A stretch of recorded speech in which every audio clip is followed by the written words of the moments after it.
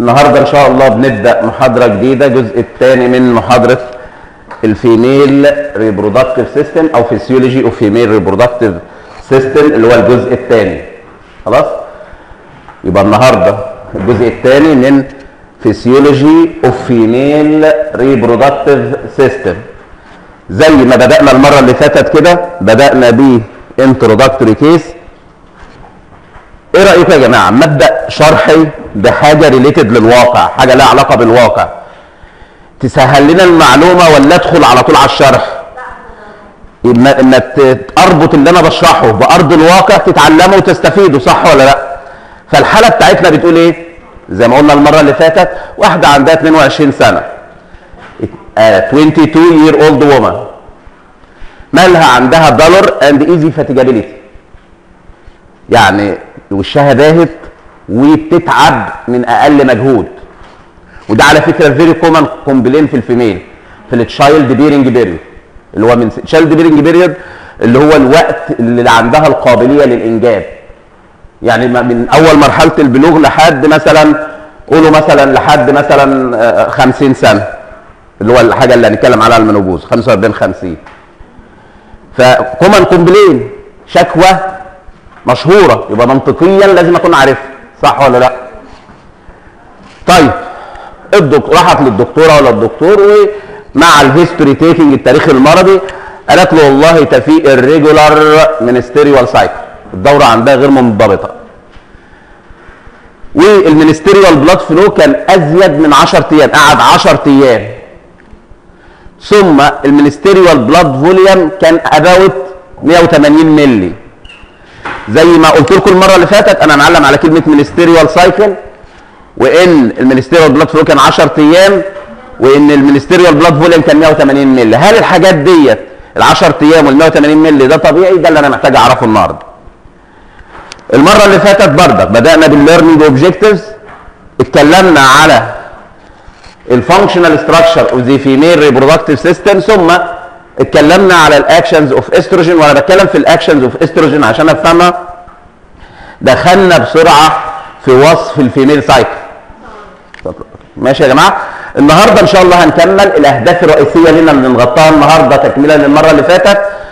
Describe actions of progesterone ثم clarify menopause ثم discuss menstrual cycle. يبقى إحنا واقفين على الايه البروجسترون. الأول قبل ما أبدأ في البروجسترون وال actions بتاعته التكرار بيعلم الشطار صح ولا لأ؟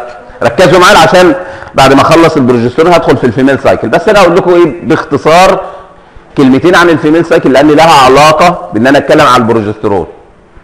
الترتيب المنطقي إن أنا كنت أبدأ بال female cycle وبعدها الهرمون. بس أنا قلت عشان ما تتلخبطوش أمشي typical زي إيه؟ زي ما كتاب الوزارة بيقول. بس خلينا نراجع اللي إحنا قلناه المرة اللي فاتت. ال female cycle اتفقنا إن ال functional structure of the female reproductive system بيتكون من primary sex organ بقول عليه إيه؟ ال ovaries و secondary sex organs زي ها ال fallopian tube زي ال uterus زي ال cervix زي ال vagina زي ال external genitalia أو بقول عليها ال vulva. ما سمعتوش أنتوا الاسم ده. ال vulva أو ال external genitalia ثم ال breast. دول كلهم ال secondary sex organs طيب إما أقول female cycle الدورة الشهرية كل شهر في ال child bearing period بيحصل تغيرات مش في ال uterus بس. يعني مش مجرد الست دي تنزل عليها الدورة بس لأ. ده جسمها كله بيتغير. ها؟ جسمها كله بيتغير. ركزوا معايا يا جماعة. سواء ال ovary سواء ال secondary sex organs كلهم كله بيحصل فيه cyclic changes تغيرات كل شهر بتحصل في كل الحاجات دي. طيب لازم أبقى فاهم إن أنا بتكلم على ال function بتاع ال reproductive system هي إيه؟ ال main function reproduction التناسل التكاثر التزاوج صح ولا لأ؟ يبقى لازم تكون الدورة اللي بتحصل دهيت اللي هي ال cyclic changes اللي بتحصل كل شهر تلائم الوظيفة. صح ولا لا؟ فال cycle زي ما هنتكلم عنها بتبقى في الغالب 28 يوم. خلاص؟ بنقسمها لل 14 يوم الأولانيين ثم في النص هلاقي ال time of ovulation ثم ال 14 الآخر ال 14 الأولانيين هو الهدف ال reproduction صح؟ الهدف ان يبقى في جنين. قبل ما يبقى في جنين إحنا نتخيل إن الست دي كانت متجوزه متزوجة married علشان يبقى في جنين يبقى متزوجة يبقى لازم في إيه؟ الأول إن يبقى في sperm يمسك في الإيه؟ في ال ovum اللي هي حصل له ovulation أصلا علشان يعملوا له زايجوت ويسافر لحد ما يحصل له implantation في ال uterus. دي الفكرة صح؟ يبقى أول مرحلة إن لازم يكون في تجهيز لعملية ال fertilization fertilization يعني إيه؟ يعني بال... بالعلميا يعني إيه؟ إن أنا عندي في ovum وعندي sperm والاثنين إيه؟ ها؟ هيكونوا زيجوت صح الكلام؟ طيب ال ovum محتاج أخرج. هخرجها منين؟ هجيبها منين؟ من ال ovary. بعمليه اسمها ovulation فالنص الأولاني في ال cycle في ال ovary هدفه الأساسي إنه يكون لي one ovum زي ما هنتكلم بعد شوية. بداية كل شهر ركزوا. بداية كل شهر من 10 ل 15 primordial follicle follicles صغيرة جوه ال ovary بتحاول تكبر علشان تكون لي mature Graafian follicle اللي هي هتكون لي ال ovum لا تعمل ال ovum. طيب قعدت تتكاثر وتكبر لحد ما بقت واحدة فيهم mature تيجي عند اليوم ال 14 ويحصل عملية التبويض ovulation تخرج ال ovum منها يقوم ال fimbria بتاع ال fallopian tube تلتقطها علشان تدخلها جوه ال fallopian tube. بواسطة ال cilia وال motility بتاعتها. لحد ما تروح لل dilated part most dilated part of the fallopian tube اللي أنا بقول عليها ال ampulla of the fallopian tube دي ال site of fertilization في الفترة ديت محتاج في نفس الوقت تغيرات تحصل في الرحم. علشان تقدر تلتقط ال sperm أثناء العلاقة الزوجية عشان تشفطوا وتطلعوا لي لحد فين؟ لحد ال dilated end of the fallopian tube اللي ال dilated part اللي هي ال ampulla عشان يحصل ال fertilization زي ما حصل تغير في ال ovary في ال 14 يوم الأولانيين عشان يطلعوا لي في الآخر. 1 ovum بيحصل تغيرات في الرحم علشان تجهز نفسها. لحاجتين. أول خطوة است... الأول حاجة خالص إنها تنقل لي لل site of fertilization ثم تجهز نفسها لاستقبال الجنين. صح؟ اتفقنا؟ إن الرحم نفسه هيحصل فيه تغيرات في ال 14 يوم الأولانيين. سواء هيزيد ال thickness بتاعه هيزيد ال reaction أو ال sensitivity للإستروجين اللي هو بيعمل له contraction انقباض. فهتلاقي في ال في ال 14 يوم الأولانيين مع العلاقة الزوجية بيحصل إيه؟ contraction في الرحم فيعمل إيه؟ suction يشفط ال sperm يوجهه في سكته ناحية ال fallopian tube. خلاص؟ لحد ما يلتقي بالايه بال ovum في ال dilated part of the fallopian tube يحصل ال fertilization طيب. بعد ما حصل ال ovulation في ال ovary إيه اللي هيحصل؟ لو بناخد histology أو بتاخد anatomy هتعرفي إن أنا عندي ال mature graafian follicle بتبقى عبارة عن إيه؟ ها؟ عبارة عن زي كره كبيرة كده. lined by cells متغطية ب cells وجواها ال ovum إما بيحصل ovulation يعني ال ovum خرجت منها. يعني عشان أتخيل الوضع الكلام ده هنعيد ونزيد فيه كمان شوية بس أنا بقول الكلام ده ليه؟ هنفهم حاله بص بصوا يا جماعة. هنا أهو كده. الأول كانت primary follicle صغيرة أهي. قعدت تكبر تكبر لحد ما بقت ها؟ اللي هي عند كلمة antrum ديت ديت بقت mature follicle اهي.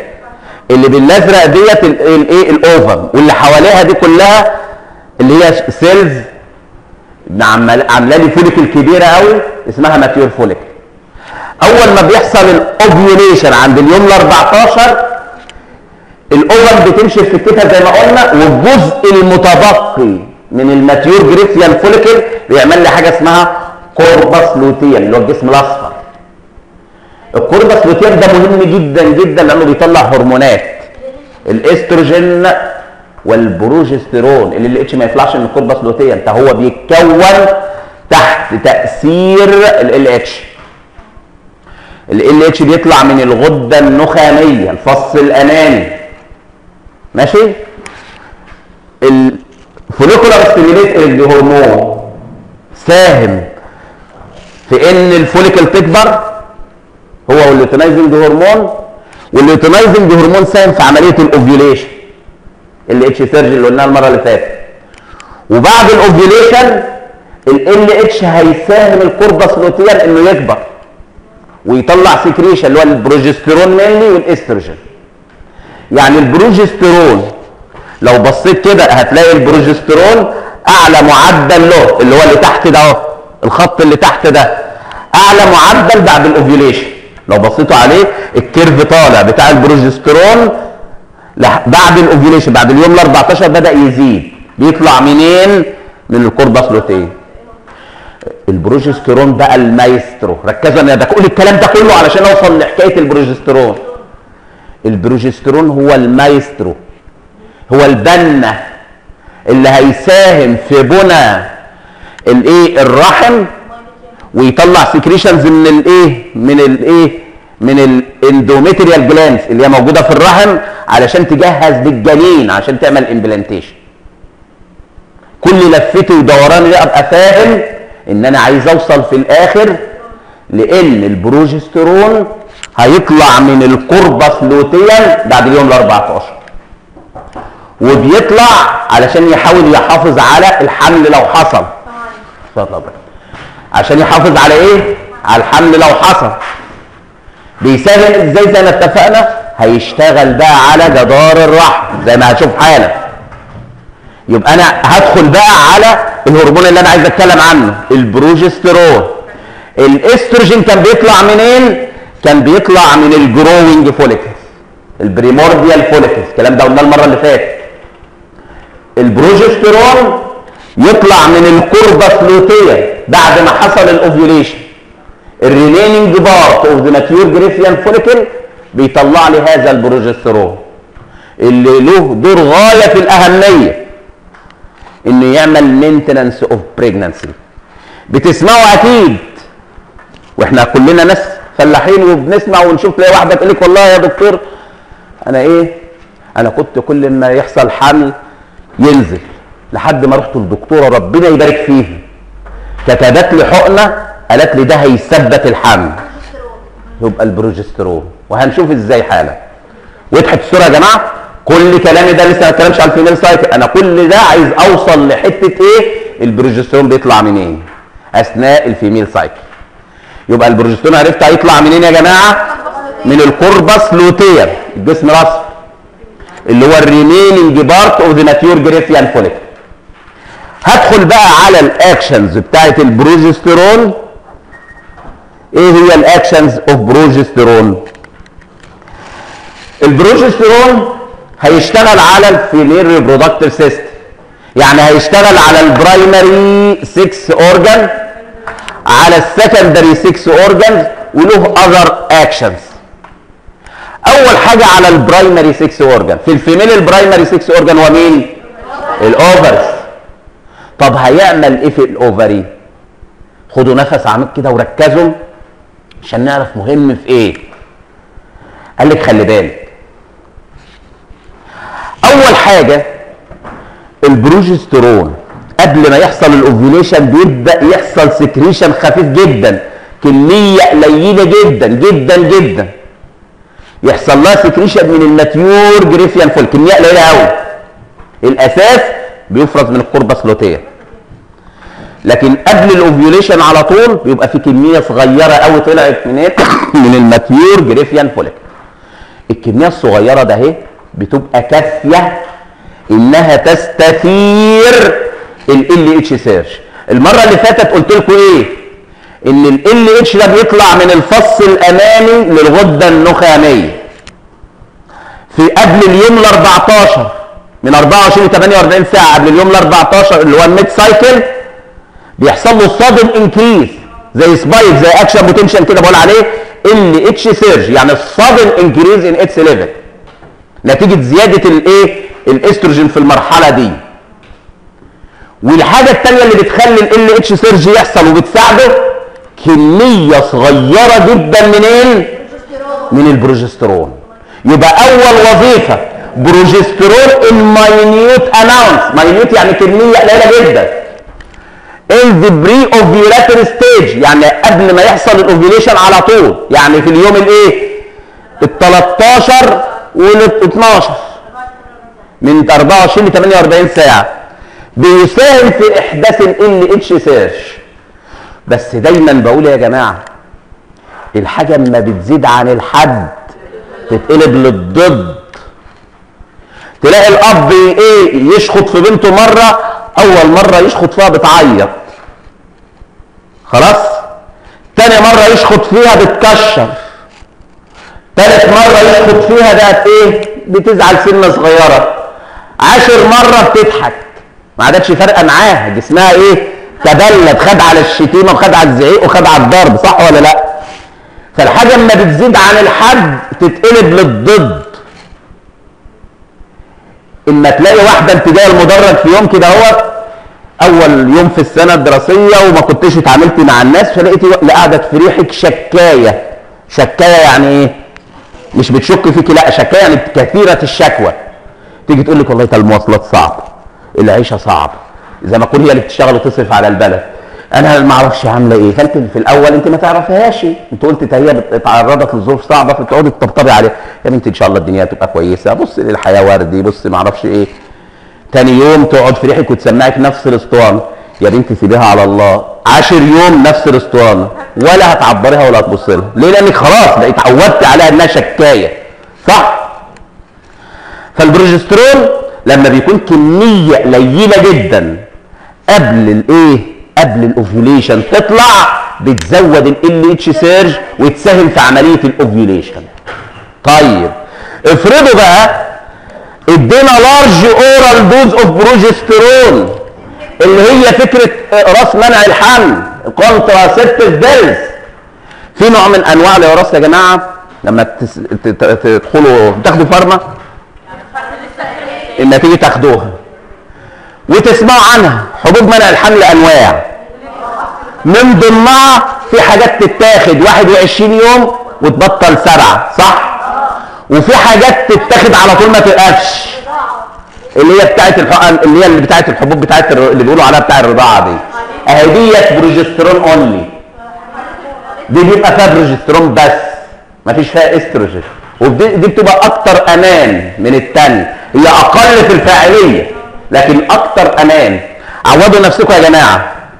الحاجة اللي تجيب نتيجة سريعة جدا خافوا منها. يعني لما حد يقول لك هات إيه؟ هاتي لي 1000 جنيه اللي انت محوشاهم وبعد شهر هدهم لك 5000 جنيه. خافي منه. هينهبك هينصب عليك. صح؟ الحاجة اللي تيجي سهلة بتروح سهلة. الحاجة اللي تجيب الكورتيزون ما شاء الله روعة في العلاج بتاعه. مفيد جدا وبينقذ حياة ناس. بس آثاره الجانبية خطيرة. ماشي؟ إن يستخدم عمال على بطال تيعمل ضغط وسكر و و و و و قرحة في المعدة ومواويل الدنيا والآخرة. فخلي بالكم البروجسترون لو أنا اديته كدواء حبوب هيعمل العكس. بدل ما يزود ال ovulation هيمنع ال ovulation يبقى بالتالي لو ادينا large dose جرعة كبيرة من ال progesterone inhibit يعني يمنع. ال LH secretion وبالتالي هيمنع ال LH surge مش هيخلي ال H ال LH يعلى. وبالتالي مش هيحصل تبويض ودي فكرة إن مش هيحصل حمل. وضحت الصورة يا جماعة؟ يبقى بالتالي وكل شيء عنده إيه؟ ها؟ بمقدار. ربنا ما بيعملش حاجة بهظه ما بيعملش حاجة عشوائية. أي حاجة بتحصل جوه جسمك بهدف. لما ال- البروجسترون بيعلى سنة صغيرة قبل ال ovulation الهدف إنه يسهل عملية ال ovulation. انت اتشمللتي واتشطرتي وخدت البروجسترون من بره بتعملي stoppage لعملية ال ovulation بتوقفيها. وضحت الصورة؟ ده على ال primary sex organ طيب على ال secondary sex organs أبص على الرسمة دي. ادي ال female reproductive system اتكلمنا على ال ovary بيحصل إيه؟ طب على ال fallopian tube. ركزوا. أنا قلت المرة اللي فاتت الإستروجين كان هدفه الأساسي إيه؟ هدفه الأساسي يساهم في عملية ال ovulation دي اول حاجة. يجهز لعملية ال fertilization دي تاني حاجة. تالت حاجة يجهز لبعد كده عملية ال implantation. مرحلة أولية خالص في بنى جدار الرحم بيساهم في عملية ال ovulation. أنا بتكلم عن الاستروجين إنه كان بيزود ال LH surge هو المسؤول عن ال LH surge طب بيسهل عملية ال fertilization إزاي؟ ده كان بيشتغل من أول ال vagina لحد ال fallopian tube. على ال vagina كان بيزود ال layers بتاعت ال vagina بيأثر على ال secretions بتاعت ال vagina يخليها suitable for sperm. صح. ده بيشتغل على ال cervix عنق الرحم. ويخلي ال secretion بتاعها thin alkaline فيسهل عملية الايه؟ المرور بتاع هذا ال sperm. بيشتغل على ال uterus فيزود ال contraction بتاع ال uterus. فيعمل suction لل sperm يحركه في اتجاه مين؟ في اتجاه ال fallopian tube وضحت الصورة يا جماعة علشان يجهز لعملية الايه؟ ال fertilization ثم كان يشتغل على إيه كمان يا جماعة على الرحم. يعمل فيه إيه كمان؟ بيبدأ في البنى بيبدأ يبني وضحت الصورة يا جماعة يزود ال thickness بتاع هذا ال uterine wall طيب. كده الإستروجين خلص. طب البروجسترون بقى؟ إيه رايكم يا جماعة؟ البروجسترون جاي يكمل المسيرة. هيكمل المسيرة إزاي؟ الست حصل ovulation وحصل fertilization أنا دلوقتي حصل ال fertilization فين؟ في ال wide part أو ال wide part of the fallopian tube. اللي أنا بقول عليه ال ampulla of the fallopian tube. أنا عايز ال fallopian tube تعمل إيه؟ تبدأ تغذي هذا الإيه؟ الزيجوت. فهتطلع secretions يبقى البروجسترون stimulates secretion of mucus. Necessary for nutrition of fertilized إيه؟ ovum اللي هي الزيجوت. يبقى أول خطوة للبروجسترون علشان يجهز ويحافظ على الحمل إنه يغذي الزيجوت يغذي ال fertilized ovum منين؟ من ال fallopian tube. طيب. بدأت هذه ال fertilized ovum أو الزيجوت تسافر في اتجاه مين؟ ال uterus. يبقى أنا عايز أعرف هذا الإيه؟ هذا البروجسترون هيعمل إيه في ال uterus؟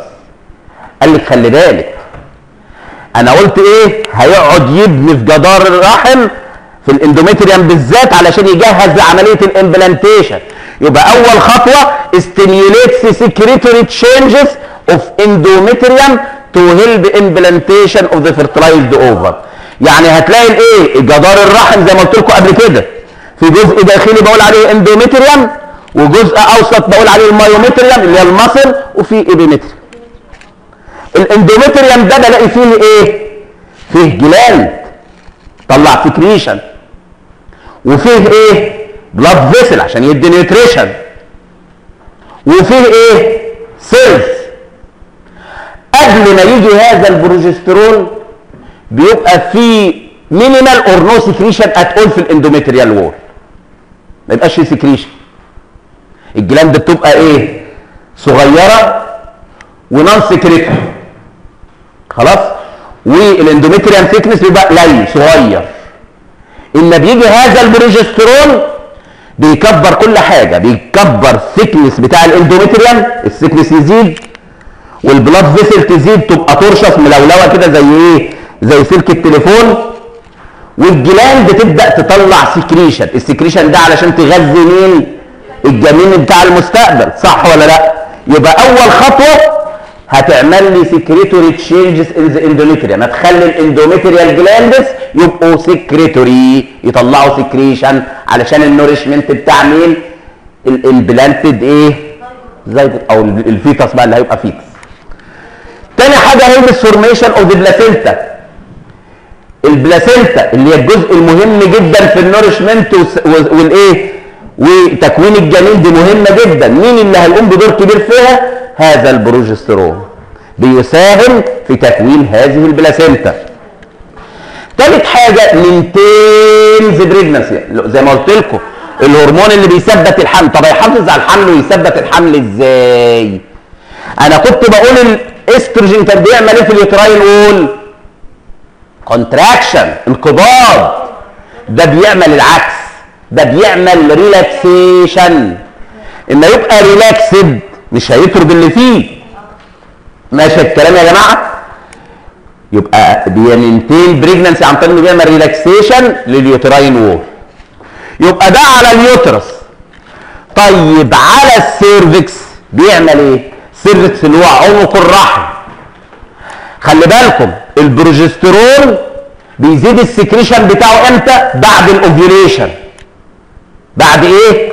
ال ovulation يعني ال ovum كانت طلعت وبدأ عملية ال fertilization ولو الست كانت متجوزة خلاص الف- الفترة اللي الست ممكن تبقى fertile فيها يعني تخلف فيها أو تنجب فيها هي الفترة اللي حوالين ال mid cycle اللي حوالين اليوم ال 14 قبلها بيومين وبعدها بيومين. قبلها بيومين وبعدها بيومين. دي الفترة اللي ممكن الست تنجب فيه. ليه؟ لأن الست مش ماسكة ورقة وقلم ولا منبه يوم ال 14 لازم التابوت في اليوم ال 14 ممكن يحصل في ال 13 ممكن في ال 15 ممكن في ال 12 ممكن في ال 16 في ال range ده. وضحت الصورة يا جماعة؟ طيب خلي بالكم بقى. بعد ما حصل ال ovulation بدأ البروجسترون يعلى.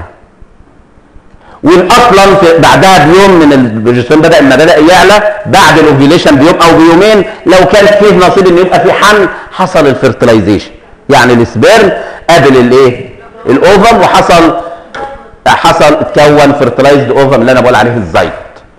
خلاص. هل أنا محتاج sperm تاني؟ لا.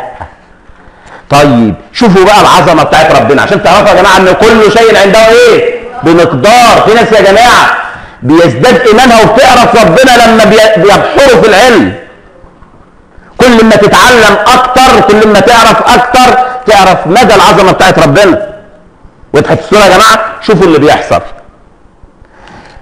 ال cervix اللي هو عنق الرحم ده بيعمل plug سدادة mucus plug نتيجة هذا البروجسترون يبقى البروجسترون يشتغل على عنق الرحم stimulate mucus secretion ماله؟ thick thick لا thick يعني إيه؟ سميك. viscid لزج cellular. عمل حاجة اسمها mucus plug. سدادة من ال mucus. يمنع إن ال sperm يعدي ما خلاص اللي حصل حصل. إحنا عايزين الحمل والحمل خلاص. أو لو ما حصلش حمل. يعني بعد اليوم مثلا ال 16 خلاص ال ovum هتكون ماتت نزلت بقى وهتنزل في الشارع. خلاص؟ فما كنتش محتاج ما كنتش محتاج sperm يبقى بعد يومين من ال ovulation كان البروجسترون عالي قوي فعمل لي ال mucus plug منع further sperm إنه يعدي. ولو حتى sperm عدى هيعدي منهك القوى هيمشي خطوتين ويموت. مش هيكمل سكته لحد ال ovum. وضحت الصورة؟ ده مش كده وبس. شوفوا العظمه يا جماعة. ها؟ ده كمان يقوم اشتغل على مين؟ على ال vagina.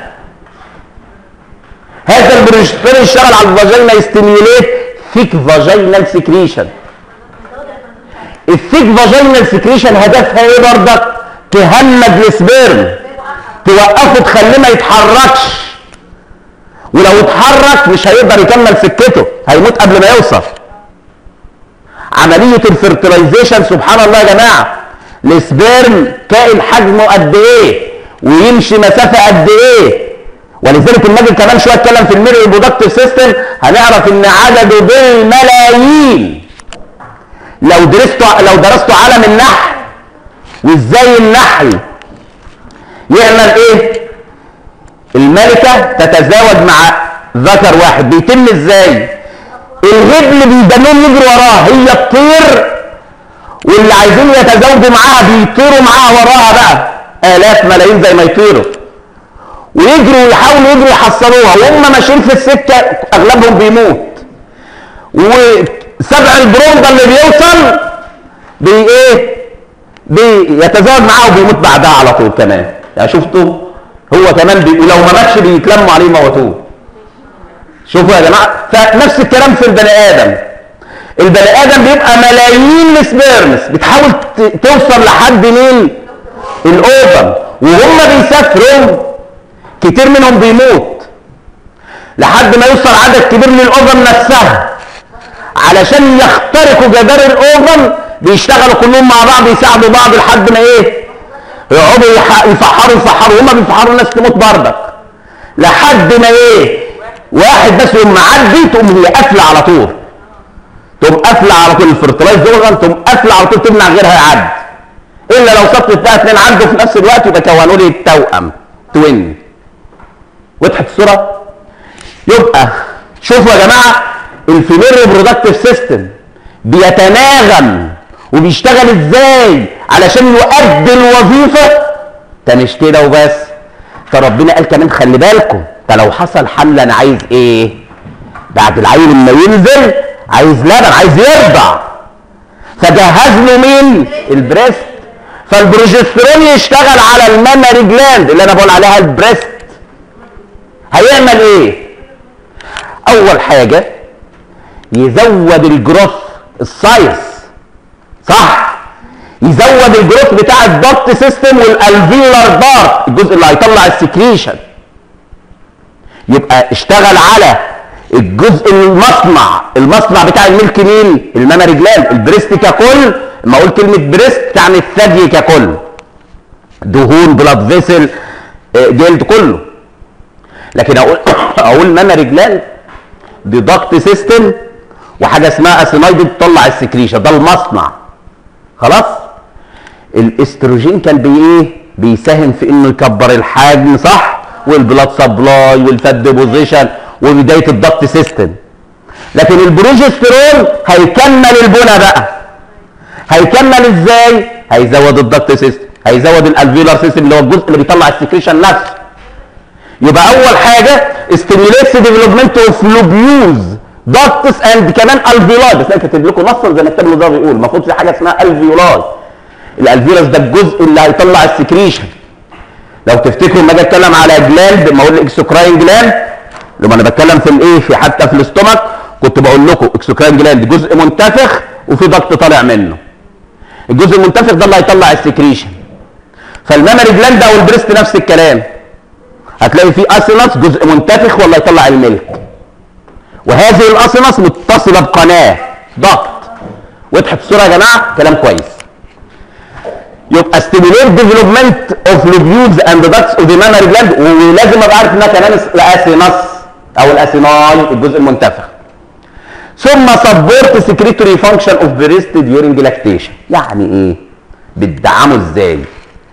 إنها بتزود هرمون اسمه البرولاكتين. البرولاكتين أو هرمون اللبن زي ما أنتم بتقول ده مهم علشان ال milk إيه؟ formation and secretion فهذا البروجسترون بيزوده. خلاص؟ فبيساهم في عملية الإيه؟ ال milk formation and secretion وضحت الصورة؟ شفتوا البروجسترون بيعمل إيه يا جماعة؟ بيعمل إيه على كل أجزاء جسم الأنثى سواء primary أو secondary female sex organs طب ال other actions of progesterone قال لك خلي بالك قال لك له حاجة اسمها له thermogenic action. يعني الست اللي بتقيس درجة حرارتها. نص درجة. بص يعني لو واحدة جايبة ترمومتر كل يوم تقيس درجة حرارتها من أول يوم في الدورة لحد ما تلف الدورة كلها ترجع لأول يوم تاني هتلاقي درجة الحرارة بتاعتها اللي هي بنقول عليها ال basal body temperature درجة الحرارة بتاعتها هي. بتزيد نص درجة في النص التاني من الدورة. ليه لأن البروجسترون ده له thermogenic effect. يعني بيرفع ال basal body temperature بمعيار نص درجة. تاني حاجة قال لك البروجسترون بيزود ال respiration. بيزود ال respiratory rate بي stimulate ال respiratory center. تالت حاجة بيزود ال appetite. تلاقي البت البنت أو الست لا بلاش البنت الست الحامل تلاقيها إيه؟ يعني جوزها بيبعد عنها لا تاكله. خلاص الغالبية مش في ناس إيه مسلولة. مسلولة يعني إيه؟ إن يعني ان بت- تبقى حامل بتضعف أكتر. صح لكن المفروض الغالبية القاعدة إن الواحدة لما تبقى حامل البروجسترون زاد عندها فتلاقيها بتاكل في آخر زادها. يعني بتاكل في آخر زادها يعني إيه؟ ده إحنا قولها ده مصطلح معروف يا جماعة. واحد اما يلاقي واحد بياكل الاكل كتير قوي يقول له يا أخي أنت بتاكل في آخر زادك. ارحم نفسك شوية. ده أنا جايب خمس سندوتشات. بقول بسم الله الرحمن الرحيم. الراجل معدي بيقول لي سلام عليكم ببص لقيت فاضل سندوتش. الاربعه راحوا فين مش عارف. ماشي؟ فتلاقيها نتيجة البروجسترون العالي ده هي قاعدة إيه؟ قاعدة تاكل. كتير. ليه؟ لأنه بيزود ال appetite. كلمة appetite يعني الرغبة في الأكل. الشهية للأكل. وضحت الصورة يا جماعة؟ كلام كويس. ولذلك حتى في النص الثاني من الدورة حتى في ال female العادية اللي هي ال non-pregnant تلاقيها في النص الثاني من الدوره لها رغبة في الأكل زياده ويزيد وزنها زيادة وضحت الصورة ثم مهم جدا في حاجة اسمها maternal behavior سبحان الله اللي ادى الرحمة في قلب ال- الأنثى ليه؟ للجنين أو للطفل. الإحساس بالأمومة فاكرين لما كنت بقول لكم الاستروجين بيشتغل على الولد وهو لسه في بطن أمه. يديله الإيه؟ ال behavior بتاع الراجل. فالبروجسترون بيدي ال behavior بتاع الأمومة للأنثى العاطفة. القطة من شدة حبها لعيالها يا جماعة بتاكلهم. شفتوا الخيبة دي؟ بتحبهم لدرجة إن في دماغها إن لما تاكلهم هتحافظ عليهم في بطنها. بتاكلهم من شدة حبها لهم تخيلوا هي مش بتكرههم ده بتحبهم حب زيادة عن اللزوم. في بعض الفيديو اللي زيكم برضك بيموتوا عيالهم من شدة حبهم. إزاي؟ أنا بتكلم الحاجات دي ليه؟ لأن نعرفها في حياتنا. أنت مثلا ربنا رزقك بعين تيجي تروحي للدكتور يكتب لك العلاج. كتب لك نوعين ثلاثة أربعة مثلا. شايف العيل حالته شديدة ومحتاج الأربع أنواع دي. فأنت عملت نفسك دكتورة. روحت البيت. إيه ده؟ هو كاتب الأدوية دي كلها إزاي؟ أنا بصوا أنا الأربع أدوية دول كفاية نوع واحد أقل أي نوع. والمفروض النوع ده حتى يتاخد ثلاث مرات هي كفاية مرة. أنا مش أنا جبت الأدوية جابت الأدوية ركنتها وخدت نوع واحد. ها؟ دي واحدة من شدة خوفها على العيل ما ادتلوش علاج. واحدة غشيمة تانية العكس. تا إيه؟ انكتب أربع أنواع. الولا إيه؟ المفروض ياخد ثلاث مرات في اليوم.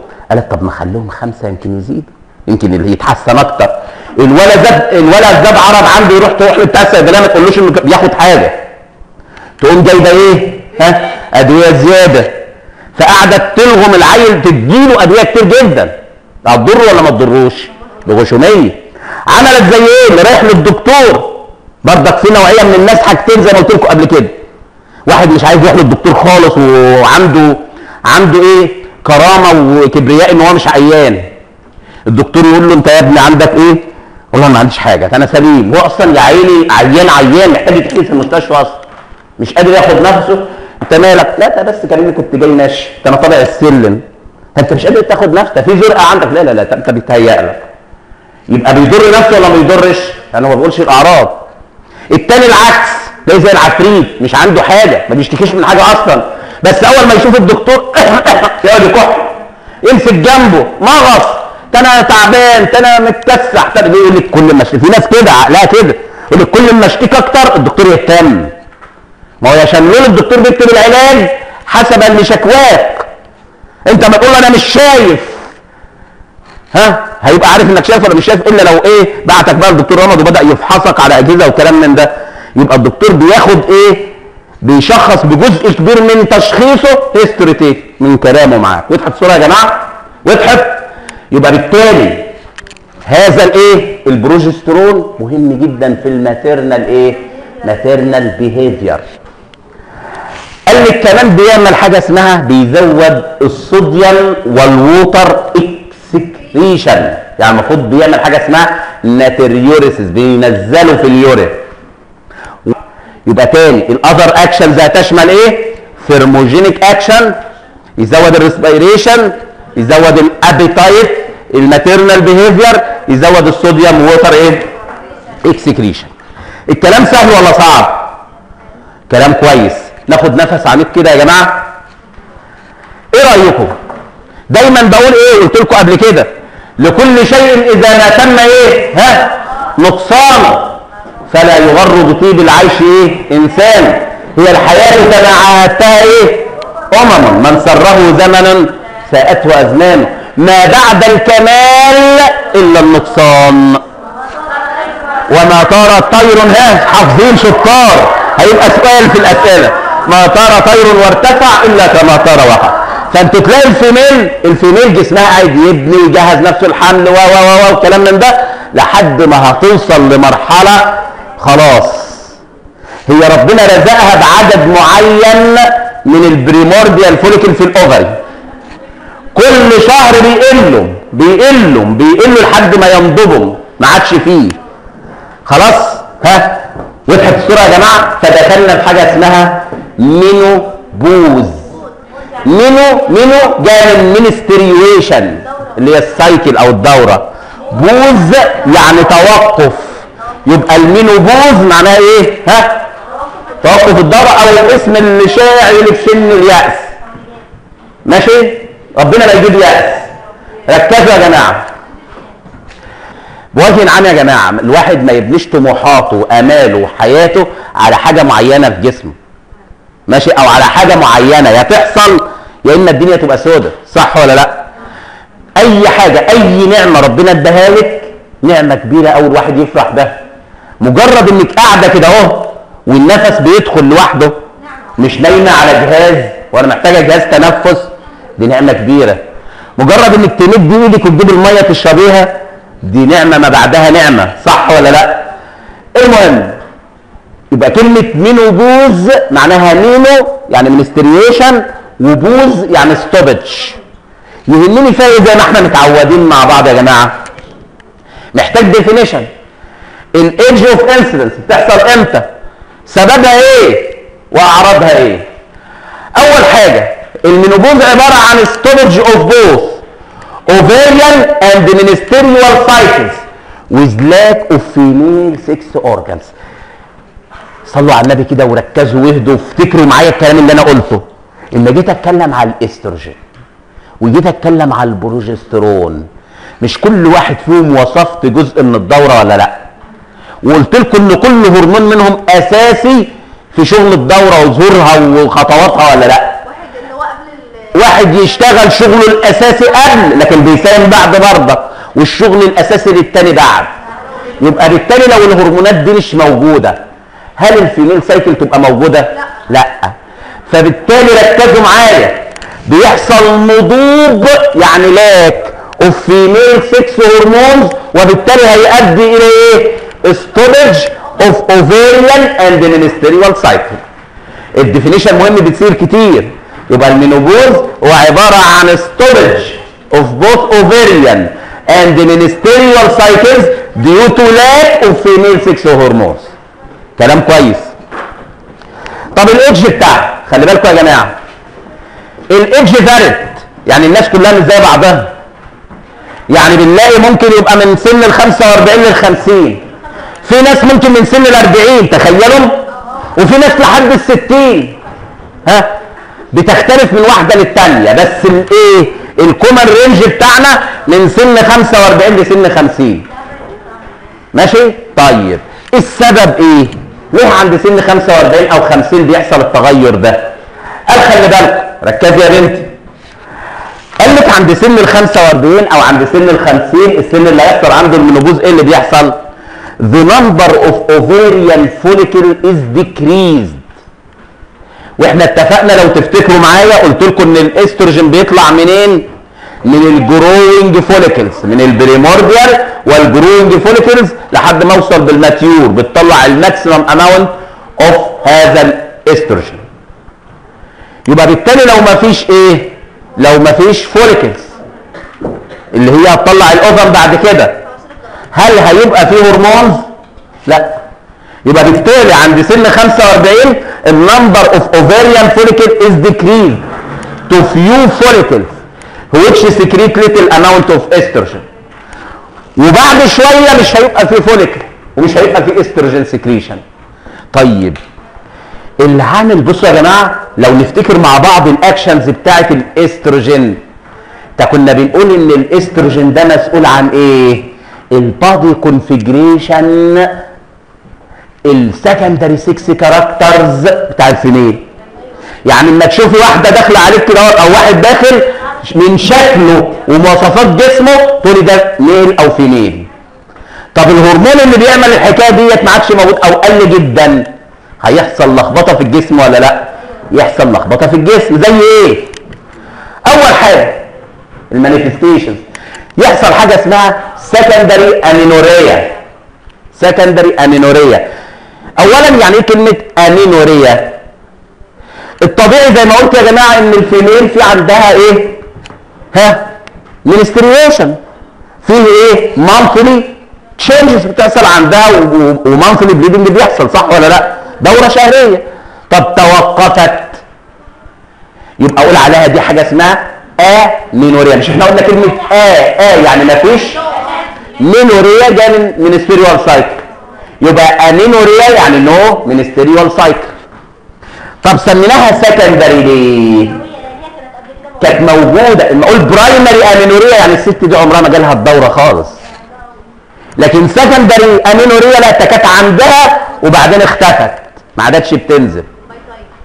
وال secondary amenorrhea أسبابها كتير. من ضمنها هنا ال menopause لكن لو الست حامل هيبقى عندها secondary amenorrhea صح ولا لا؟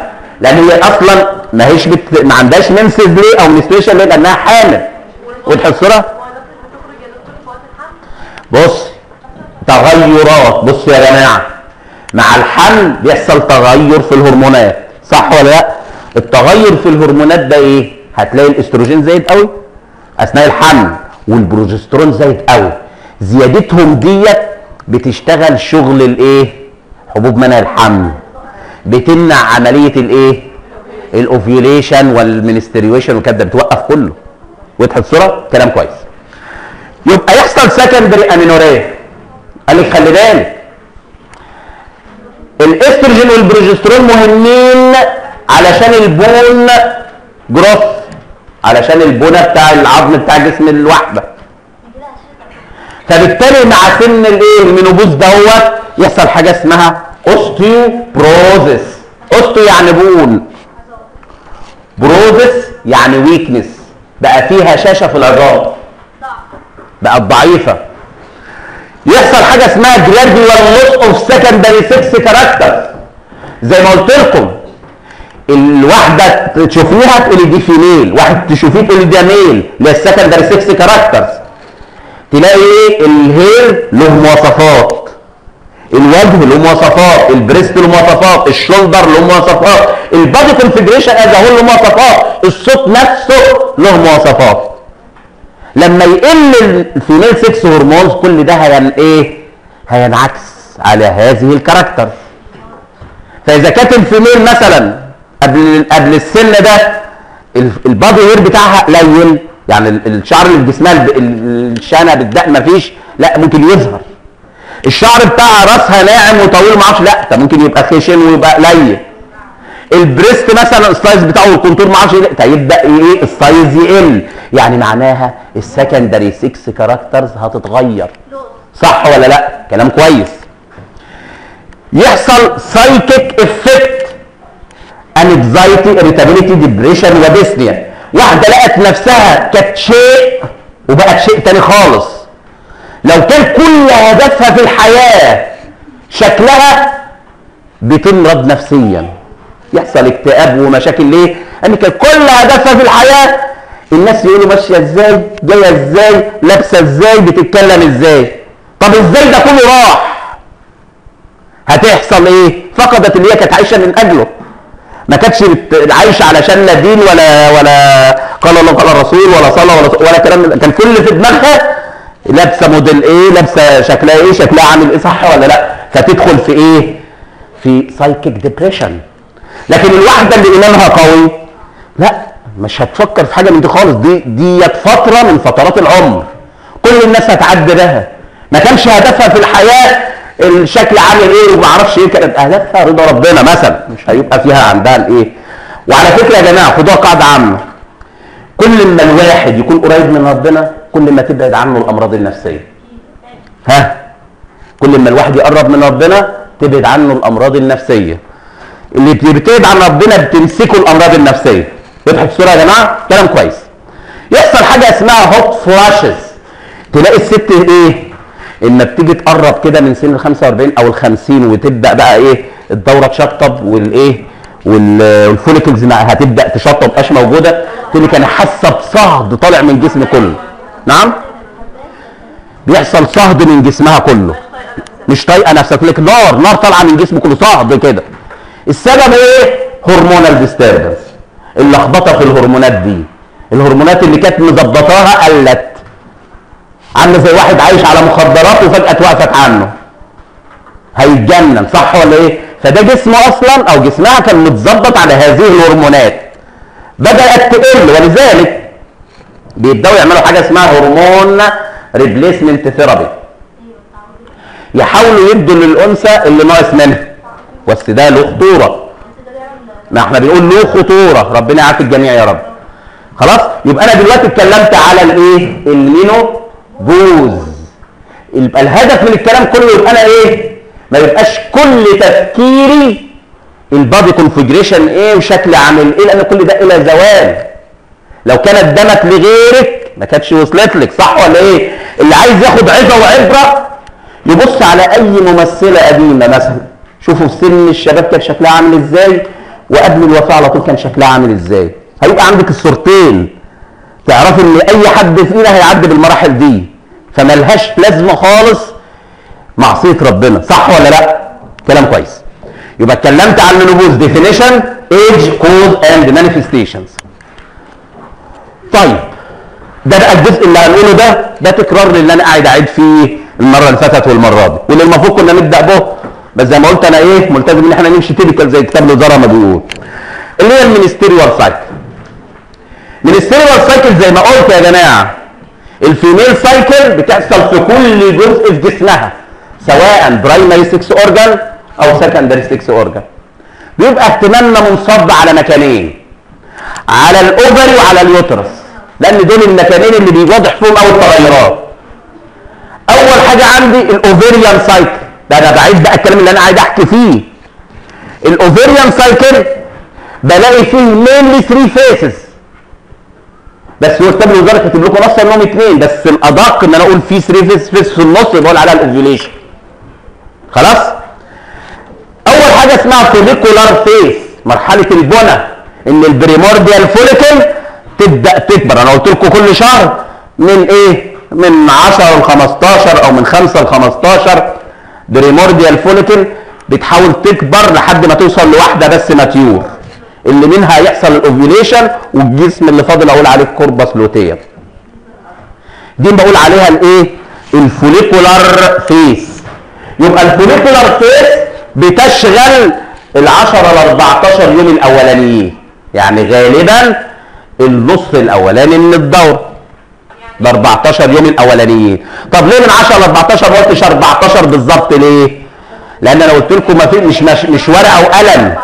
ما هيش ورقة وقلم والستات كلها زي بعضها. لا. في رينج عندي. في واحدة ممكن الدورة بتاعتها تبقى 28 يوم. واحدة 29 يوم. واحدة 30 وضحت الصورة في أغلب الستات بتبقى كام؟ 28 يوم. ال 14 يوم الأولانيين أو 13 يوم الأولانيين بقى يبقى دي الايه؟ ال follicular phase. اليوم ال 14 ال ovulation. من ال 15 للآخر دي حاجة اسمها luteal phase اتكون ال corpus lutea يبقى أنا عندي ال follicular phase ال range بتاعها من 10 ل 14 يوم. بيحصل فيها إيه؟ A single dominant follicle will be mature ده الكلام اللي أنا قلته. إن واحدة بس اللي بتحاول تكبر. هما آه، اللي هي بتكبر فعلا لكن من 10 ل 15 بيحاولوا. لكن واحدة بس اللي بتبقى mature وبتبقى mature من اللي عند ال mid cycle يحصل ovulation under the effect of LH surge زي ما قلنا. وهنا كملحوظه قلنا إيه؟ ال normal cycle ممكن تبقى من 21 ل 35 يوم بتختلف. لكن قلت ال average أو ال common 28 يوم. طيب. بقيه الملحوظة هنسيبها لما أتكلم على ال uterine cycle تاني phase المفروض ال ovulation ال ovulation غالبا بيحصل في ال mid cycle غالبا في اليوم ال 14 under the effect of LH surge اللي هو ال sudden increase in LH بصوا على الصورة دي كده. عشان نتخيل. ركزوا معايا يا جماعة. الصورة دي غايه في الروعة. بتوريني إيه؟ ال ovarian وال uterine cycle. ال ovarian cycle النصف الأولاني ده وال 14 يوم الأولانيين كنت بجهز اللي إيه إن أنا أكون mature Graafian follicle. بلاقي ال primordial follicle. قعدت تكبر gradual gradual gradual لحد ما بقت mature. كبيرة. في ال mid cycle عند اليوم ال 14 بصوا على LH فوق. شايفين عمل spike إزاي؟ sudden increase حتى ال FSH معاه بردك sudden increase صح؟ وبصوا على ال estrogen sudden increase يعني الشطرة بقى لو اتسألت سؤال ال ovulation due to sudden increase in وجاب لك ثلاث هرمونات. ال LH وال FSH وال estrogen الزيادة بتاعت الثلاثه دول مع بعض بيعملوا لي الايه ها؟ ال ovulation بالذات أقوى واحدة فيهم LH surge طيب. ال ovulation يعني إيه؟ أنا هخرج ال ovum لكن الهيكل اللي كان محيط بال ovum في ال mature follicle هيدنه في ال ovary و under the effect of LH يعمل لي الجسم الأصفر اللي هو ال corpus luteum اللي هو بدوره هيطلع لي progesterone and to less extent estrogen يعني الأساس إن ال corpus luteum بيطلع بروجسترون لكن بيطلع شوية استروجين بردك وضحت الصورة يا جماعة؟ يبقى في الايه في أول phase بيبقى مين؟ إيه عايز أكون mature follicle. ثم تاني phase عملنا ال ovulation. ثم تالت phase اللي هي ال luteal phase بنكون ال corpus luteum اللي أنا بقول عليها الايه ال luteal phase يبقى ال luteal phase من ال ovulation لحد ما يحصل ال menses تقريبا 14 يوم. يبقى أنا دلوقتي الصح إن أنا أبقى فاهم إن ال ovarian cycle mainly 3 phases أول phase اللي هي ال follicular phase ثم ovulation phase ثم luteal phase. بيتزامن معاها uterine cycle تغيرات في ال uterus. بتقسمها لثلاثة phases. proliferative phase مرحلة البنى ثم secretory phase مرحلة ال secretion ده علشان تغذي الجنين لو في جنين. ثم لو ما فيش جنين هي إيه؟ اللي بنيناه هيتهد the uterus إيه؟ هيبكي دما لعدم وجود جنين. هيحصل menstruation صح؟ يبقى في proliferative أو اسم الدلع بتاعها estrogenic phase لأنها under the control of estrogen وال secretory phase اللي under the control of إيه progesterone and to less extent estrogen ثم ال degenerative phase أو بقول عليها ال menstruation phase أو ال bleeding phase ناخدها واحدة واحدة. ال proliferative phase أو بقول عليها إيه؟ estrogenic phase يعني نعرف duration control ثم ال changes ال duration قال لك خلي بالك البنى أنا دلوقتي عايز أبني بيت يا جماعة. لو أنا عايز أبني بيت البيت ده كان مبني بنى قديم. أول خطوة هعمل إيه؟ علشان نبني بيت هرمم القديم ولا ههد القديم؟ ههده صح ولا لأ؟ بعد ما هد أبدأ في البنى بدأت بنيت نحتاج الخطوة الأخيرة أشطب. صح ولا لا؟ أشطب يعني إيه؟ ها هعمل اغثى أحط كهرباء أحط مية سباكه وضحت الصورة؟ فنفس الكلام هنا. هي cycle. cycle يعني إيه؟ يعني دورة كورة. دورة يعني زي دايرة كده لو بدأت بنقطة ومشيت على الخط بتاعها هرجع لنفس النقطة. صح ولا لا؟ فالدورة يعني هبدأ من أي مرحلة أنتهي لنفس المرحلة. يعني أبدأ مثلا بال proliferative هقول بعدها secretory ثم menstruation بعد ال menstruation يبقى proliferative secretory menstruation دورة دورة بتلف. فال proliferation مرحلة البنى بقى هتتم بعد ما شلت اللي أنا إيه؟ البيت القديم. البيت القديم اللي أنا شلته هو إيه؟ ال menstruation ال menstruation ال menses ده بيوقع لي البنى القديم صح ولا لأ؟ بعد ما ينتهي ال menses اللي بياخد له تقريبا من يومين لست أيام.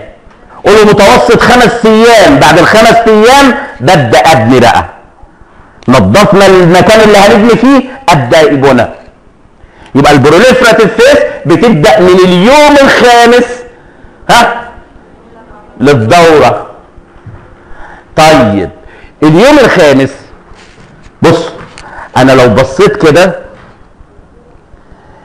قال لك خلي بالك ان في الدورة اللي هي كنا بنقول إن ال normal menstrual cycle بتقعد تقريبا من 21 يوم ل 3 وإيه؟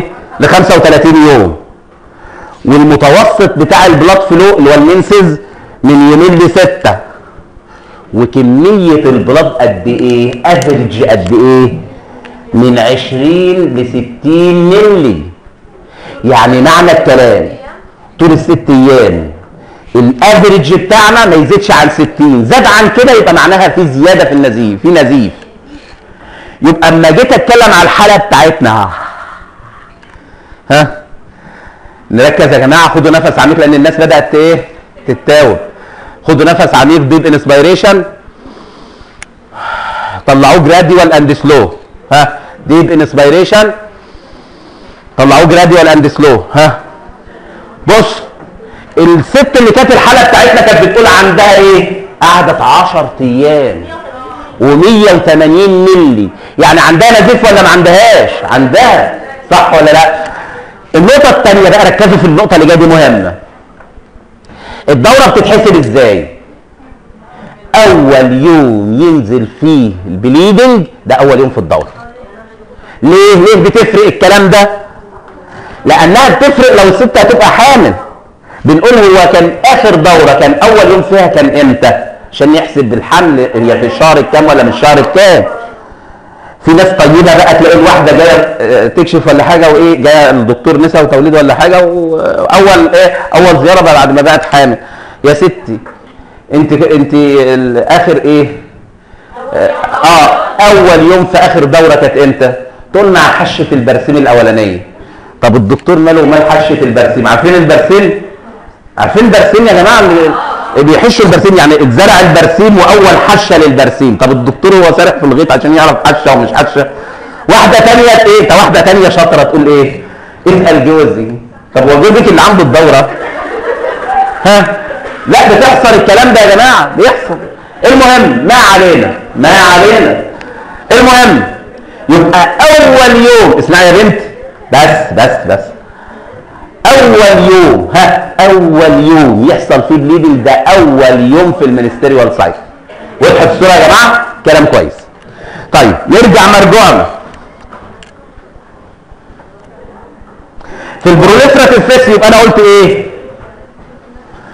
هذه ال proliferative phase بتبدأ من اليوم الخامس لل cycle لحد ال mid cycle اللي هو اليوم ال 14 اللي هو ال ovulation يعني من- إزاي نبدا بنفس اليوم الخامس يا دكتور الله بيبقى لسه في bleeding اصبري بس. لا بيس- بيبقى في bleeding يا شاملولة. إيه اسمعي يا بنت اسمعي يا ماما. بس بس.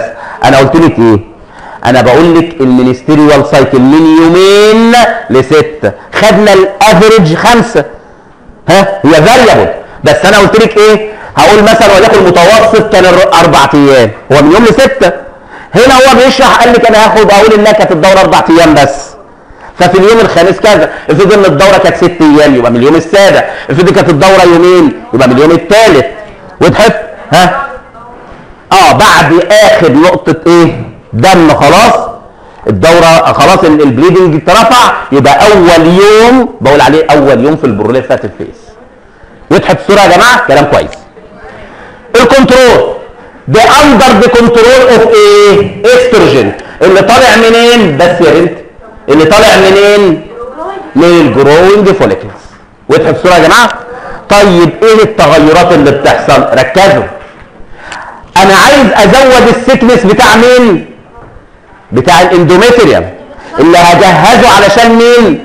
علشان يحصل implantation فأول حاجة يحصل progressive increase in the number of endometrial cells ال cells بتاعت ال endometrium يبدأ يزيد عددها ال glands نفسها هتبدأ تتغير.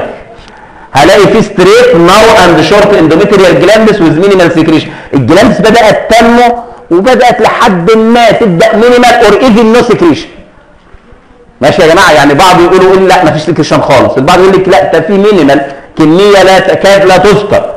من ال secretion بتطلع من ال endometrial glands تخيلوا بقى بص ركزوا. أنا هديت البيت. فحت الأساس. هل في ارتفاع للبيت كده دلوقتي عن سطح الأرض؟ لا لأن أنا فاحت الأساس بس. عملنا المنسز نظفنا كل حاجة. بعد كده هبدأ أبني. إن بدأت أبني بدأت أعلى عن سطح الأرض. صح ولا لأ؟ فبدأ يبان البنى. فده اللي بيحصل هنا. At the beginning of proliferative phase ال thick- تخيلوا ال thickness بتاعه كام من 1 ل 2 مليمتر. شوفوا بقى في نهايتها قد إيه؟ 3 ل 4 مليمتر. الناس دي إيه؟ الناس يعني بدقه مقطعة مصارينهم قوي يعني من 1 ل 2 مللي ل 3 مللي أقول لكم دي حاجات بتتشاف تحت الميكروسكوب. إن أنت تقدري تشوفيها إنها زادت ملي أو 2 ملي يبقى زادت كتير جدا. متخيلين يا جماعة؟ ال cells دي حاجات بتتشاف تحت ال light microscope تحت الميكروسكوب الضوئي. فأنا لما أقول ال thickness زاد بملي أو 2 ملي أنا حاجة أنا أقدر أشوفها. يعني معناها إيه؟ لا تزاد كتير جدا. وضحت الصورة يا جماعة؟ كلام كويس. يبقى الخلاصة إن زاد ال thickness بتاع هذا ال endometrium. طيب هندخل بقى على مرحلة ال secretory phase. إن البروجسترون هيبدأ يطلع من ال corpus luteum ومعاه الإستروجين. وبدأنا نجهز لعملية ال implantation. قال لك هذه الايه ال secretory phase يهمني اعرف ال duration بتاعتها؟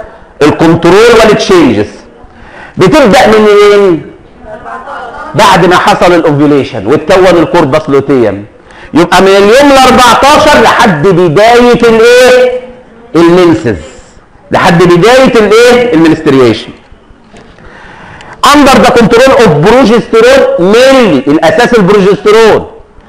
and to less extent estrogen طالعين ه- ال corpus luteum لكن في المرحلة الأولى كان الأستروجين طالع منين؟ من ال growing follicle طيب إيه ال changes اللي هتحصل ال thickness هيزيد وال glands هتبقى secretory علشان تبدأ تغذي الجنين اللي هيبقى موجود بعد ال implantation يبقى ال endometrial glands بيكون tortuous and secretory أنتوا عارفين يعني إيه كلمة tortuous ملولوة كده يا جماعة. زي سلك التليفون. سلك التليفون بتاع البيت. مش بت- بتلاقوه كده ملولو كده عشان إيه؟ يدي طول لو اتشد. فبتلاقيها إيه؟ tortuous ملولوة كده. وبقت secretory بدأت تطلع secretion عشان تعمل تغذية للإيه؟ لل implanted آه، اللي هي الزايجوت ال spiral arteries become more tortuous ال arteries اللي موجودة في ال endometrial بدأت تبقى طولها طويلة زيادة عن اللزوم.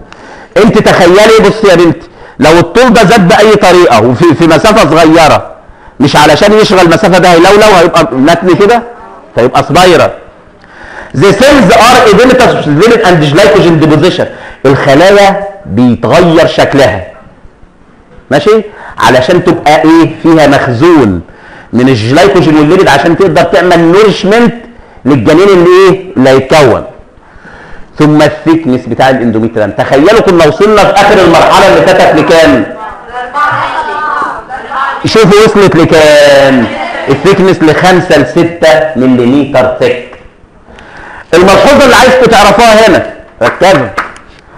إن في الدورة اللي هي 28 يوم ال ovulation مين اللي بيحصل في يوم ال 14 طيب قال لك خلي بالك within 48 ل 72 ساعة بعد ال ovulation بقى ال progesterone ال secretion بتاعه زاد.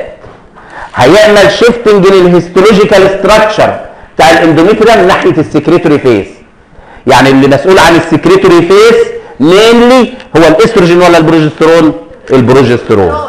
وزي ما قلت ها بعد التمام إيه؟ النصام إحنا قعدنا نبني جدار الرحم في ال endometrium. ومستنيين الباشا علشان يجي يحصل له implantation طب ما فيش يا باشا ما فيش جنين ما فيش fertilized ovum هيحصل إيه؟ اللي اتبنى يتهد ونتخلص منه. يحصل حاجة اسمها degenerative أو menstruation phase of uterine cycle ال duration مني من من يومين لست أيام. طيب. نعم؟ طب لو قلنا من أربعة لعشرة يبقى من أربعة لثمانية ها؟ زيد على فكرة بص.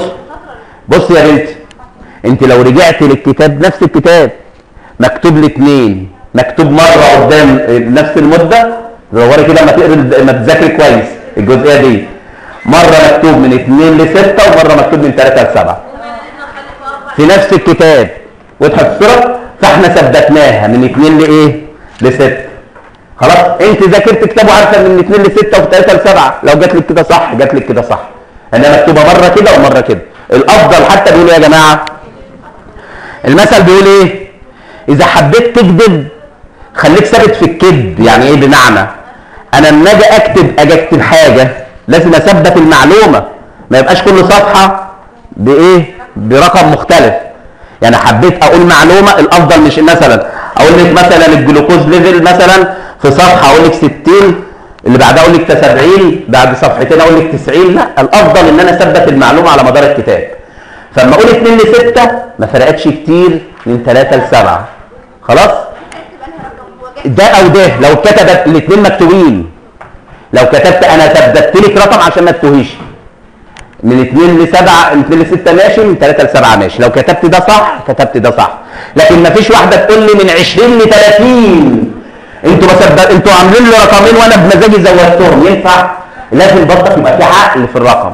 يعني أنا لما أقول 2 ل 6 متوسط أربعة ولا خمسة؟ ما قلت ثلاثة لسبعة متوسط خمسة ولا إيه؟ أربعة برضك ما فرقتش كتير. وضحت الصورة يا جماعة؟ كلام كويس. فإحنا عندنا من اثنين لست أيام. عندك عايزة تحفظي الرقمين من اثنين لستة أو من ثلاثة لسبعة مش أي مشكلة. بس الله يهديكي بس. لو جت في الامتحان اكتبي أحدهما. لكن للأسف بنلاقي الناس لا كتبت لا ده ولا كتبت ده. بالعند فيكم بقى أنتوا قايلينها مرة كذا ومرة كذا طب أنا مش هكتب بقى. وإحنا نقول لك وإحنا بالعند فيك هنكتب صفر. وضحت الصورة يا جماعة؟ كلام كويس. المهم control and changes ده انت لو تلاحظوا يا يا شطار على مدار ال cycle وفي الكلام بتاعك كنت قلت لكم بتختلف من واحدة لواحدة. ده إحنا قلنا بتوصل ممكن لحد 35 يوم واقول ده طبيعي. صح ولا لا؟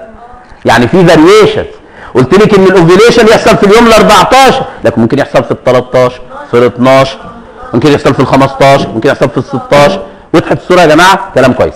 بس لو جيت قال لك in a typical 28 يوم cycle ovulation يحصل ثاني يوم لازم تكتبي ال 14 وضحت الصورة يا جماعة كلام كويس. طب إيه اللي بيحصل؟ اتفقنا إن مفيش إيه؟ مفيش fertilization مفيش implantation مفيش placenta. ال placenta ما اتكونتش. طالما ال placenta ما اتكونتش الجسم الأصفر هي- هيضمر هيبقى فيه atrophy ويبدأ إيه؟ ما يطلعش ال secretion بتاعه. ما يطلعش لا استروجين ولا يطلع بروجسترون. الكارثة كلها كل التغيرات اللي بتحصل في الرحم كان سببها إيه؟ ال estrogen و ال progesterone. طب هما مش موجودين؟ هيقع كله بقى كل اللي بناه اللي بنيناه يقع في الشارع. صح؟ يبقى هتلاقي degeneration of corpus luteum هيؤدي إلى dropping يعني يقل estrogen and progesterone level in the blood هيؤدي إلى إيه؟ أول حاجة يحصل constriction تضيق لل spiral artery طيب أنا قفلت artery. بصوا يا جماعة لو أنت دلوقتي بتقيس الضغط العيان خلاص ورفعت رفعت الإيه؟ ال- بالزئبق لحد 200 عشان تنزلي بقى جرادوال واحدة صاحبتك جات لك ما شفتهاش بقالك سنة. أول ما شفتيها أنت نسيتي العيان خالص وإنك قافلة عليه على ال 200 خدتها بالأحضان. إزيك؟ عاملة إيه؟ فينك يا بنتي؟ تقول لك أنا اتخطبت. لا أنا اتجوزت وقعدتوا تحكي في ربع ساعة والعيان قاعد يصوت في ريحك إيه اللي هيحصل للعيان لما تنسيه كده وإيه وضغط على الايه على الشرايين بتاعته؟ هيحصل ischemia وممكن يحصل غرغرينه في ايديه تخيلوا لو قعدت مدة طويلة. فانت دلوقتي ال spiral arteries ده نتيجه الهرمونات ما عادتش موجودة تضيق تقفل. هيحصل some sort of ischemia و necrosis الجزء ده يموت. خلاص؟ طيب الجزء ده مات. وما عادش شغال. بقى فيه waste product بقى فيه metabolite. حاجات مش شغالة حاجات آه، بايظة. كل دي بتعمل local vasodilatation توسع. فيحصل المرحلة الثانية dilatation of spiral artery نتيجة إيه؟ نتيجة تكون ال dead particles الموجودة. الاجزاء الميتة ديت بتعمل dilatation فتخلي إيه؟ الدم يقوم نازل بسرعة. يعني إيه؟ بص أنت عندك artery وشريان أهو. الدم ماشي فيه ومفيش مشكلة خالص. حصل إنه حصل انغلاق تام لحظي. خلاص؟ ال tissue اللي هنا مات. زي في جلطات صغيرة كده. آه اتقفل زي جلطة كده قفل. هنا الجزء من ال tissue اللي هنا الانسجه اللي هنا ماتت. خلاص؟ ما عادتش شغالة. بقت اتكون فيها toxin و waste product وحاجات كده. ميتة جزء ميت. ال tissue اللي ميت دهوت بيطلع مواد بتعمل dilatation توسع. فتقوم موسعة الايه الشريان اللي كان قافل ده. اما يوسع وهو اتقطع أصلا ما هو كده اتقطع. هينزف هو اللي هينزف بقى ويسحب معاه الأجزاء الميتة. هقولها تاني ركزوا عشان محتاجة فهم. أنت عندك جدار الرحم كامل أو ما فيش مشكلة. اللي حاصل إن الهرمونات قلت فجأة.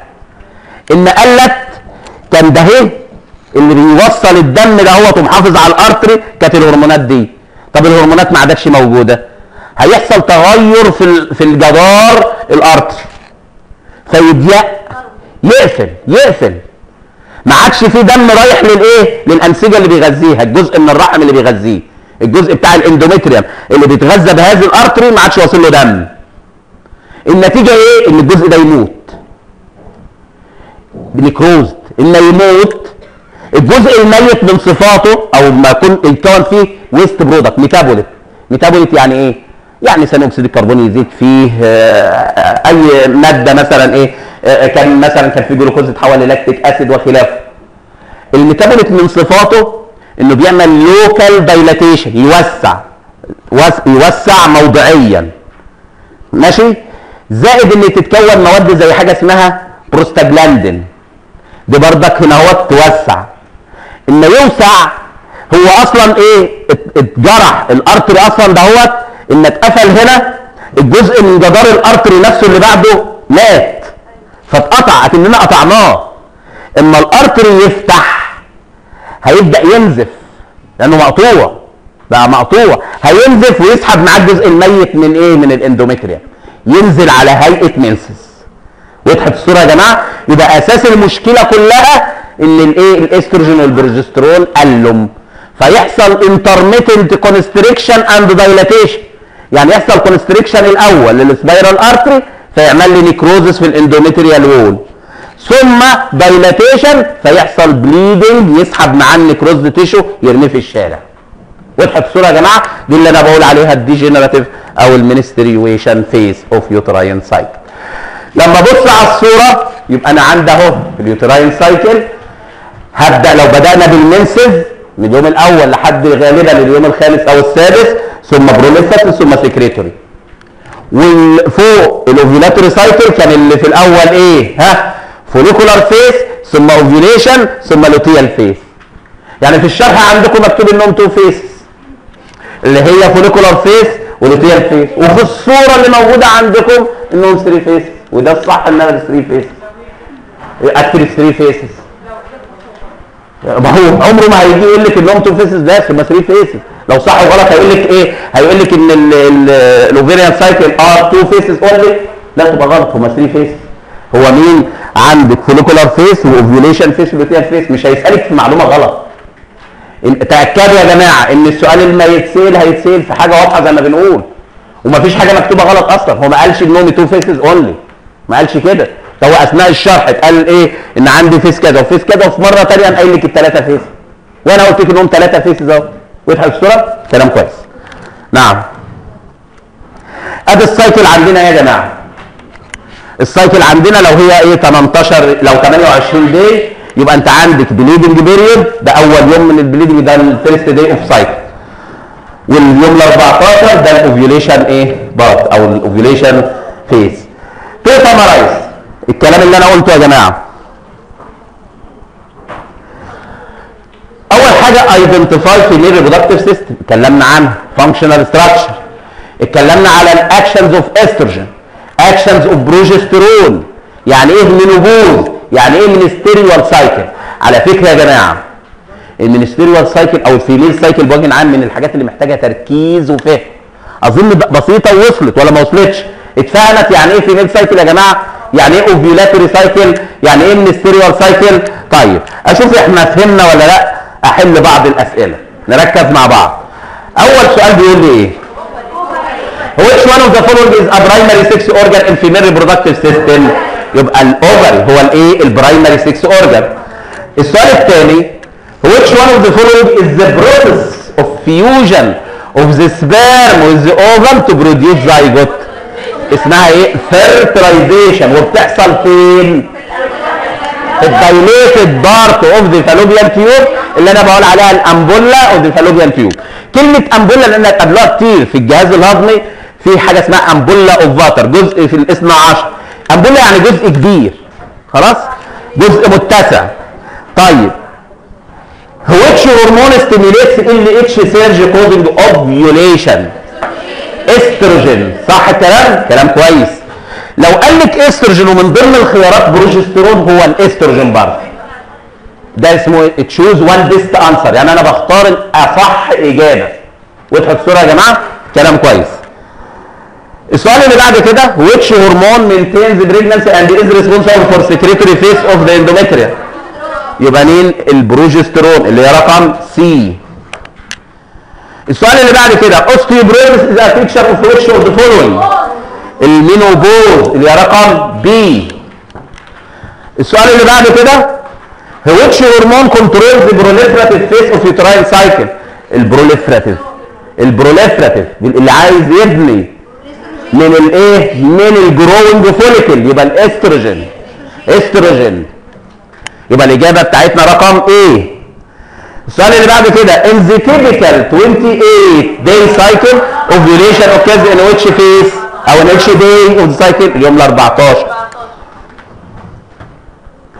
true or false نقولها بسرعة عشان ناخد بريك يا جماعة اول حاجة during fetal life estrogen are important for development of uterus and vagina ها true estrogen decrease motility and number of cilia and fallopian tubes غلط يا مفترية increase مش decrease progesterone has a thermogenic action via a direct action on heat regulating center صح at 40 uh, 45 year old the number of ovarian follicles decreased to few follicles which secrete a large amount of estrogen غلط كمية قليلة مش large in the typical 28 day cycle ovulation occurs in cycle day كام 14 يبقى true match LH surge ها ovulation ministerial cycle 28 يوم الاستروجين pigmentation of areola average menstrual blood كام 60 مللي definitions fertilization قلناها ال menopause.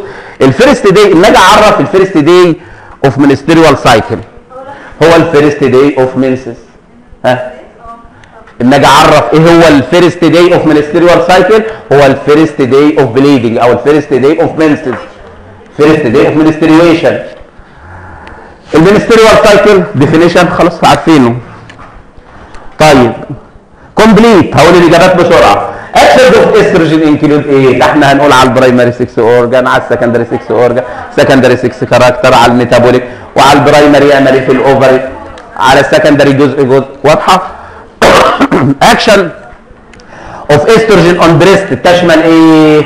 ده بيعمل إيه في ال contour ال size؟ ال fat الايه؟ ال areola ال nipple ال duct system. واضحه يا جماعة؟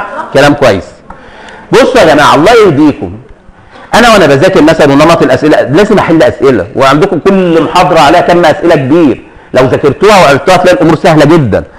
ان يبقى عندي سؤال سواء true or false أو أكمل أو غيره. نرجع للمحاضرة يا جماعة. هل في كلمة أنا بحطها في الأسئلة ما بكونش شرحتها؟ خلاص؟ شاكك في حاجة ارجعوا للإجابة زي ما قلت. في آخر خمس دقايق أو حاجة في كل فيديو هتلاقيني بقول الإجابة صح ولا لأ؟ المهم نذاكر ربنا يهديكم.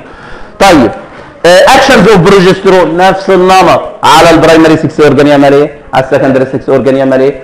على ال other functions يعمل إيه؟ وضحت Actions of progesterone on secondary sex character همسكها واحدة واحدة secondary sex organ هقول على ال fallopian tube بيعمل إيه؟